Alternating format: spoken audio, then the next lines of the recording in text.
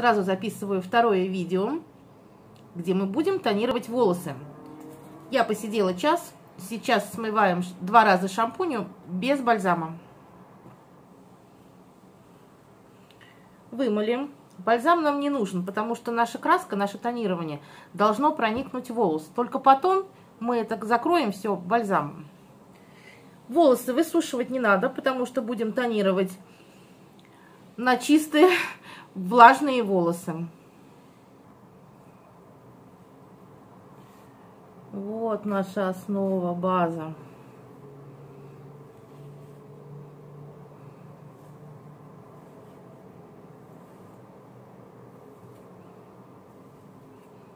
Сейчас мы это все затонируем. Без бальзама расчесать можно. Как я говорю, если даже где-то не расчесывается, краска разведена так, что все пропитается, не переживайте. Разводим краску. Сегодня я возьму очень красивый тон. Это Егора Рояль. Краска, которой я пользуюсь. Это 12-19. Это специальный блондин с Андре то есть пепел, серый, как по-нашему по-человечески, фиолетовый. Фиолетовый для чего нужен? Там оттенок, чтобы нашу желтизну забить, сравнять. И вообще, после милирования всегда хорошо делать тонирование. Во-первых, он выравнивает волос, заполняя волос после милирования. То есть волос будет не такой э, ломкий, и будет гладкий, блестеть будет при укладке. Вот, во-вторых, это красиво. Мы же не можем что-то, где-то добирает цвет, где-то не добирает. Мы же не все выкрашиваем сплошняком. Много нюансов. Тонирование это очень хорошо. Так, я буду разводить тонирование. И в тонирование добавлю мой любимый хромоэнергетический комплекс, витаминизированный. Он работает с краской, проникает внутрь волоса, питает, увлажняет именно с краской. Так, ну здесь я, как всегда, я не могу покрасить сзади, но одну прядь сделала, которая будет уходить на затылок. Поэтому мне нужно будет 12-19, я возьму 30 миллилитров краски и разведу это трехпроцентным оксидантом. Если вдруг у кого-то нет трехпроцентного оксиданта, возьмите 6. Да, может быть, это где-то неправильно, но это работает. И разведите один к двум. Во-первых, ну, примерно 30 грамм вот этого оттенка. Добавьте 15% 6% оксиданта ну и 20-25 миллилитров воды. И все это размешайте. Я всегда беру две краски, смешиваю. И это красиво, и это правильно. Но сегодня только 12-19 с 3%. Я буду делать с 3% и добавлю еще миллилитров 10 воды. Все равно потому что мне кажется, что трехпроцентный оксидант все равно немножечко съедает цвет. Об этом я уже говорила. Ну, в любом случае, все индивидуально. Какие волосы, до какой, какой степени обесцветились волосы. Знаете, есть такой темный волос, что этот пигмент непробиваемый. Вот я сидела час. Вот такая история, вот такой цвет. Поэтому пишите, не стесняйтесь, я каждый случай могу индивидуально разобрать. Не вопрос. Так, разводим.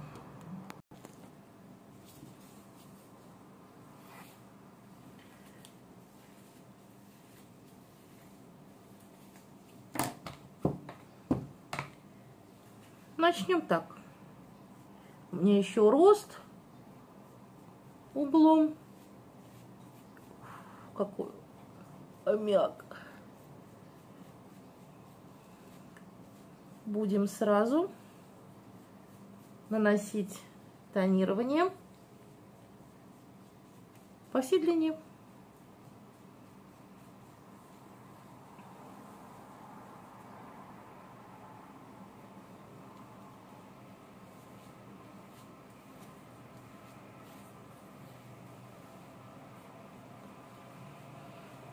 Ну, тонироваться-то уже легче, чем набирать милирование.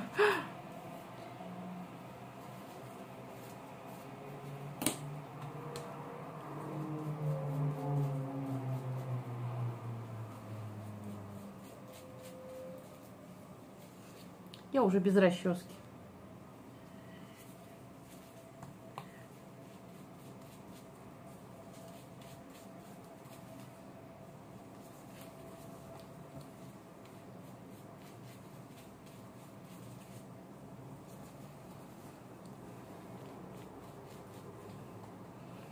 Надо все это уже с самого раннего утра крашусь. В обед уже запись буду работать.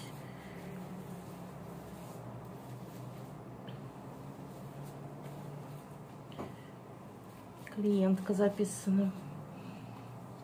Не знаю, может быть сниму сегодня такой тоже интересный случай будет. Стрижка у нее, наверное, вся заросла. Седой волос, но человек хочет мили, милирования. Но знаете, как бывает, такие седые волосы, действительно, не надо там корень отдельно выкрашивать, как вот я показывала на слишком тонких волосах седых. А у нее это все так хорошо ложится, без тонирования. Ну и стрижечку покажу. Так, ну вот, сейчас все волосы выкрасить сразу.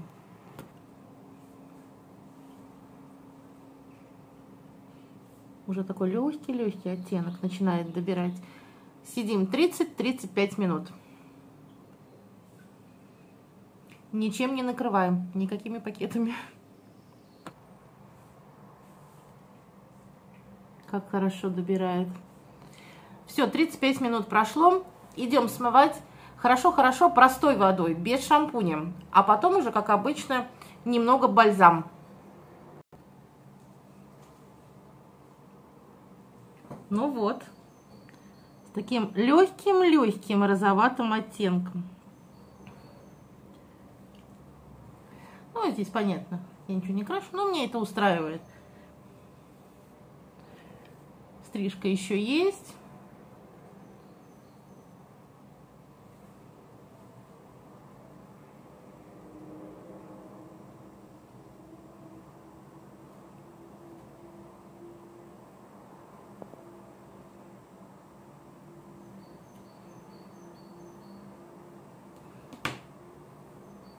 Ой, красота. Как хорошо, когда волос Ой. уложен, ухожен, покрашен. Ой, настроение поднимается.